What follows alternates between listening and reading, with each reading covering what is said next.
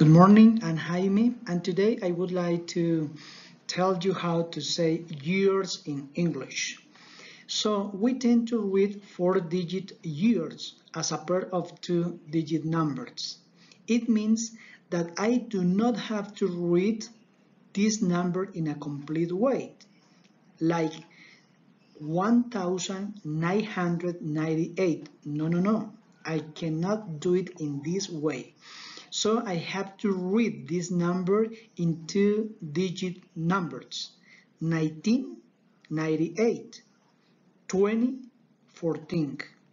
We have two more examples right here. Let's check this number 2010. The first way 2010. The second way 2010 or the last one 2010 but we have this one. This one is a little different from the other one. 2008 is in a complete way. And the other one, 2008.